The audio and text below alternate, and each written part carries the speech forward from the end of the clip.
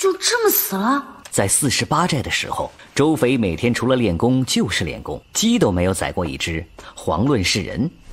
他忽然觉得脸上有东西，无意识的伸手一抹，抹了一手血。周肥也说不上怕，更说不上有什么愧疚，就是很想洗把脸。王老夫人说道：“胜儿，你掀开这两个人的裤腿，瞧瞧他们的腿。”李胜心里正有两重不是滋味一重是他因一时怯懦，差点放跑一个蒙面人；另一重则是周匪的刀。他自然看得出，肯定是李大当家传了他破血刀。破血刀乃李家世代相传的绝技，姑姑最后传给了周匪，却什么都没和我说。这念头一出，李胜心头便仿佛长出了两根刺，心不在焉的应了一声。李胜低着头走到周匪面前，没去看他，只盯着那可怖的尸体看了片刻，心里忽然想到：我不回去了。以后要是没有做出一点让姑姑看得上的功绩。我就不回去了。他一心二用，一边安放自己不甘的报复，一边撩起那尸体的裤腿周斐忽然道：“这人腿好粗啊！”李胜这才收回自己无处着落的目光，低头看去，见此人一双腿长得十分奇异，小腿骨比寻常人粗了一倍有余，泛着一层石头似的光泽，光拿眼睛看都知道这腿能有多硬。幸亏周斐的刀快。没给他留使出腿功的余地，不然以他那一个瓶子底的内功，真被扫上一下，绝讨不到好去。这时，邓真等弟子先后到了。王老夫人摩挲着他的拐杖，若有所思的半垂着眼，然后问道：“有跑了的吗？”邓真是老江湖了，自然知道轻重，应道：“哦，不曾。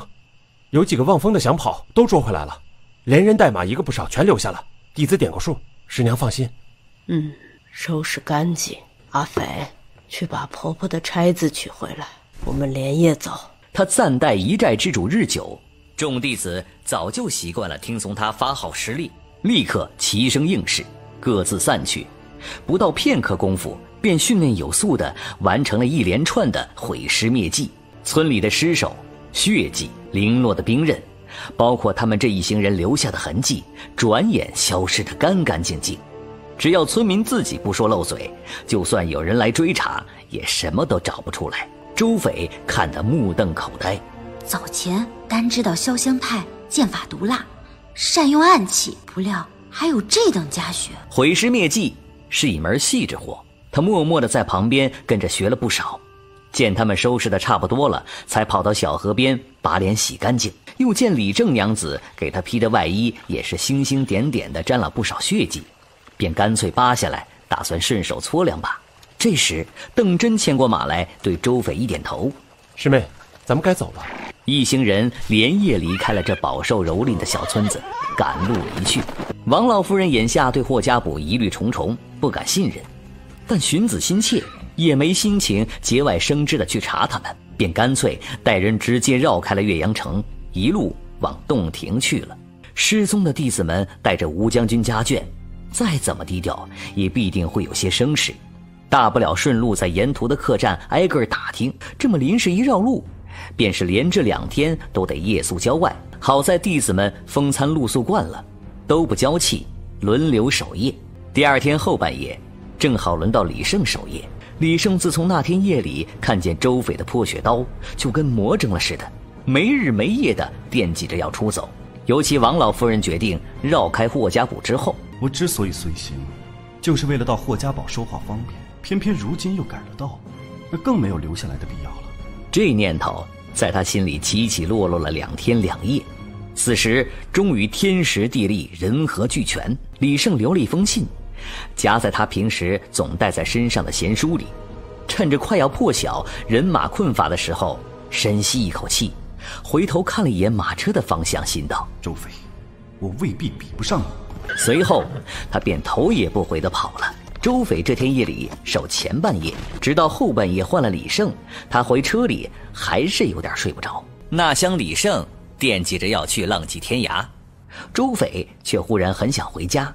可能是远香近臭，在家的时候，他娘叫住他说几句话，他的头皮发紧，跟娘一点都不亲。自从周一堂走后，他就无时无刻不惦记着下山去金陵找爹。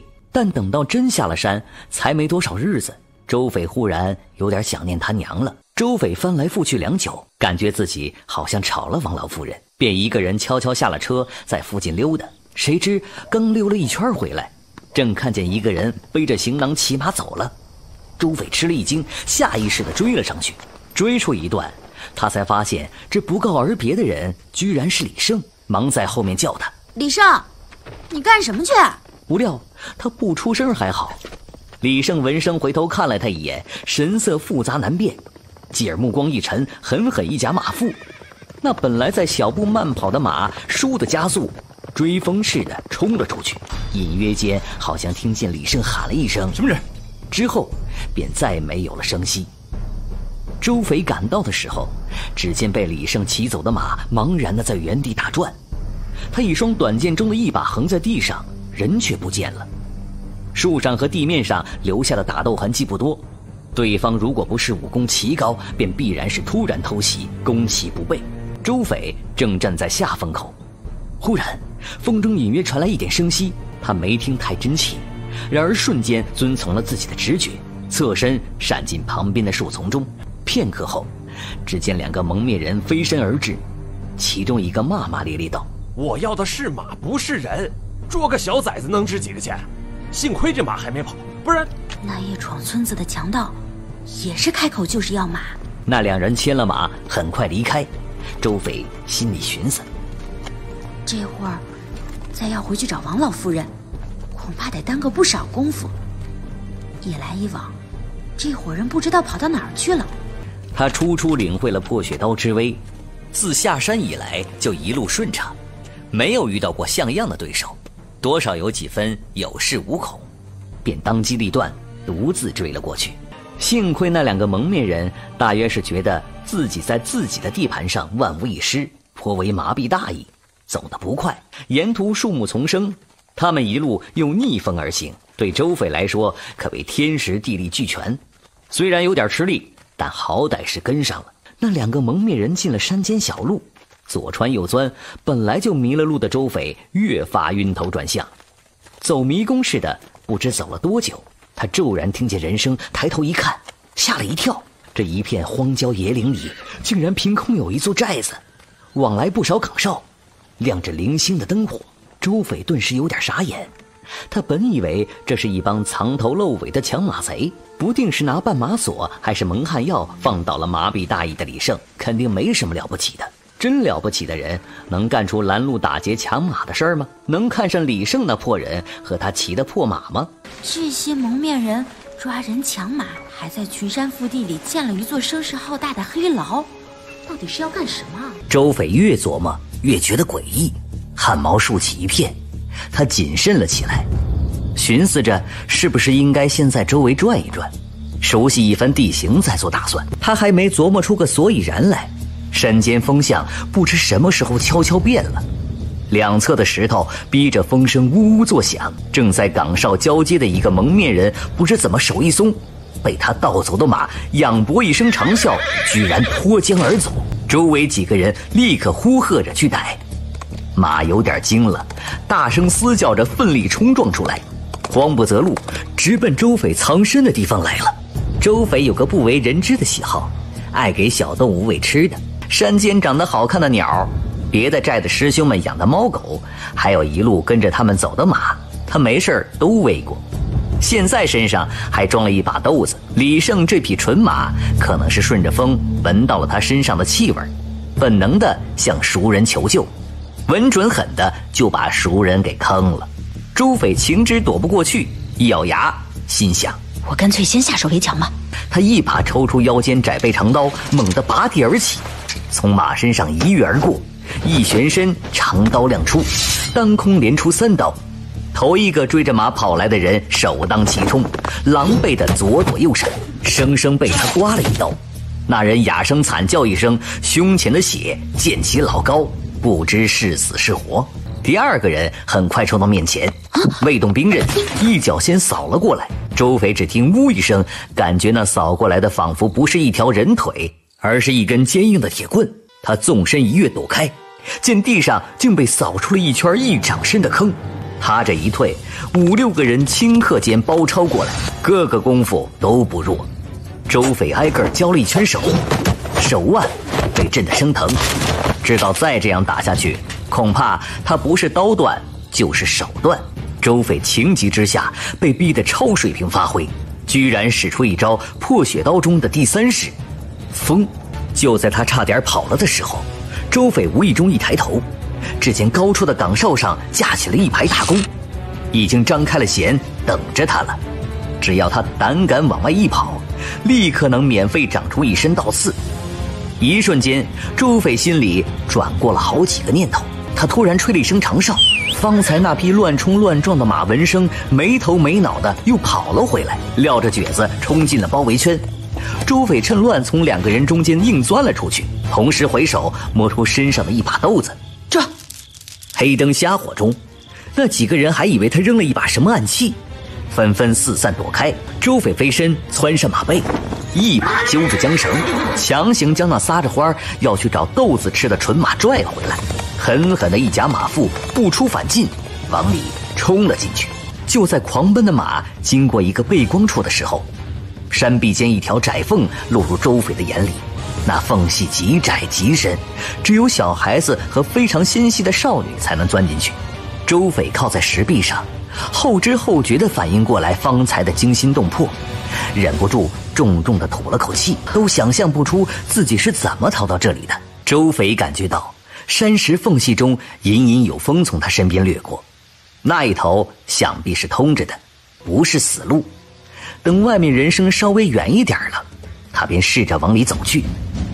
里面通道变得更窄了，连周斐都觉得略微提气才能勉强通过。他一边往里挤，一边在心里盘算着该怎么去寻找李胜。想得正入神，脚下忽然一空，沙土泥石稀里哗啦的滚了一身。周斐好不灰头土脸，幸亏他反应奇快，落地时用长刀一撑，好歹稳住了，没有摔个五体投地。原来那窄缝下面竟然有一个石洞。不知是天然的还是什么人凿的，上面盖着的沙土只是经年日久浮的灰，自然撑不住人的重量。摔下来的时候，他用手护着头脸，手背在石头上擦了一下，擦掉了一层皮，火辣辣的。周斐一边小心翼翼地在黑黢黢的石洞里探路，一边舔着伤口。这石洞不大，周斐大致在里面摸了一圈，什么都没摸到，反而有点放心。看来不是什么人挖的密室，短时间内还是安全的。外面天大概已经快亮了，破晓后暗淡的光线逐渐漏下来了一点。青天白日里，不便在敌人的地盘上乱闯。周斐除了等，一时也想不出其他的办法，他便寻了个角落坐下来，闭上眼睛养精蓄锐。就在他刚刚从这一晚上的惊心动魄里安定下神来的时候，耳畔突然传来了一颗小石子落地的声音。然后是一声口哨，饶是周斐整个人就是一颗行走的胆，也差点给吓破了。他机灵一下，一跃而起，蓦地一回头，外面天大概已经完全亮了。山洞中虽然昏暗，却也足够看清东西了。只见一侧的山壁上有一个巴掌大的小窟窿，一个形容颇为狼狈的男子正在隔壁透过那小窟窿往这边看。这鬼地方居然还有芳林！下一刻。他便听那人小声道：“这鬼地方竟然也有芳林，今日福星高照，必有好事发生。美人，你好呀！”这家伙一开口就跟个登徒子似的。周斐握紧了窄背刀，盘算着，倘若他从那窟窿里一刀把对面的人捅死，会不会惊动这里的蒙面道？美人，你胆子真大！那人用眼神示意他：“哎，你看那儿，看那儿，看见脚底下有什么？”周斐低头一看。只见他旁边赫然是一具白骨，方才黑黢黢的他也没注意，跟白骨肩并肩的坐到了天亮。窟窿那头的人又说道：“不瞒你说啊，我跟这位老兄已经大眼瞪小眼两个多月了。我看此人啊，生前恐怕是个老头子，说不定还没有骨头有看头呢。别看他了，你看看我呗。”周斐忽略了他的废话，直奔主题的问道：“两个多月？”你是被关在这里两个多月了吗？他头一次碰见心态这么好的囚徒，隐隐觉得这人有些熟悉的亲切感，便又不那么想捅死他了，问道：“这里主人是谁？为什么抓你们？他要干什么？”那囚徒伸了个懒腰，漫不经心地问道：“夜里我听见有人大张旗鼓的喊叫，想必是在捉你吧？既然你与他们动过手了，难不成看不出他们的师承？”周匪想起那铁棍似的一腿横扫，脱口道：“难不成真是霍家补吗？”囚徒没答话，兴致冲冲地冲他说道：“抬头看，你左边有一丝光漏了下来，往那边走走好吗？我整天呀跟一具白骨大眼瞪小眼的，哎呦，我可苦闷的很呀！好不容易来了个漂亮小姑娘，快给我洗洗眼睛吧！”漂亮小姑娘几个字一出，周匪神色一动。恍然发现了这熟悉感来自何处，他借着石洞里的微光，仔仔细细地隔着巴掌大的小窟窿，将对面的囚徒打量了一番，有些不确定地问道：“嗯，是不是姓谢？叫宋西那货叫什么来着？”时隔三年，周匪有点记不清了，他舌尖打了个磕巴，说道：“那个梅梅。”这位十分自得其乐的囚徒听了一呆。借着晦暗的光打量了周斐半晌，忽然啊了一声：“哦，你不会是四十八寨里那个小丫头吧？叫周周斐。”听他自报家门，方才还废话如潮的隔壁沉默了。调戏到熟人头上，那位大概也有点尴尬。两个人在这诡异的环境里各自无言了片刻，随后。周斐见他的方林，往后退了一点，清了清嗓子，稍微正色了一些，说道：“谢梅梅是当初逗你玩的，我叫谢允。哎，你你怎么跑这儿来了？”周斐心说：“我们下山办点事儿，这伙人抓了我哥。怎么每次我见你，你看你那倒霉兄长都能摊上点事儿？”周斐正要说什么，忽然耳朵一动，飞身掠入墙角。与此同时，谢允抬手将那小窟窿用石头堵上了，视线被挡住，声音却还传得过来，似乎有什么铁质的东西磕在了石头上。过了一会儿，谢允把石头拆了下来，冲周斐挥挥手说道：“没事儿，送饭的来了，你饿不饿？”周斐上蹿下跳了一整宿，早就饿得前胸贴后背了，但又不太好意思大大咧咧地跟人要东西吃。于是顿了一下，委婉的说道：“嗯，还好。”结果谢允那奇葩的说道：“嘿嘿，你要是不饿，那我就先吃了啊。呃，要是也饿呢，我就挡挡挡上点再吃。”周斐缓缓摩挲着自己的刀柄，从牙缝里挤出一句话：“不用客气，自便。”谢允还真就自便了，他拿起一个馒头咬了一口，嚼了两下。继而还是拿起小石块，把那处窟窿堵上了，说道：“嗯，还是怪不好意思的。那要不我挡着点吧？嗯，以后有机会，我请你上金陵最好的酒楼。自从南迁以后，天下十分美味，五分都到了金陵了。今天这段啊，我就不方便招待你了。哎，这里边加了料了。什么？温柔散听过吗？想你也没听，都是邪魔外道们不入流的手段，蒙汗药的一种。”专门放倒马的英雄好汉们不能以寻常蒙汗药对付，用这种药马的正好。一碗饭下去，半天起不来，内外功夫更不必说了。那你怎么还吃？因为本人既不是骆驼，也不是王八，吃一碗半天起不来，不吃就永远都起不来了。周匪一身刀柄，把挡在两间石洞中间的小石块捅了下来，对那一口一口的吃蒙汗药的谢允道：“那。”谢公子，咱们虽然萍水相逢，但每次都险象环生了呀，也算半个生死之交了。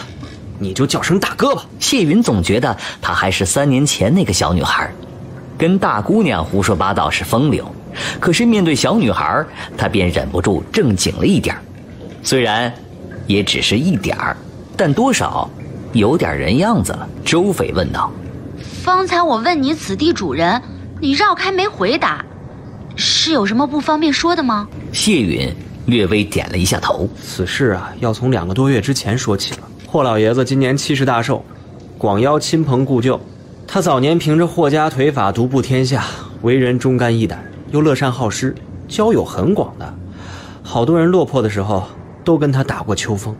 所以啊，这帖子一发，大家自然都来捧场。这事儿，你大概不知道吧？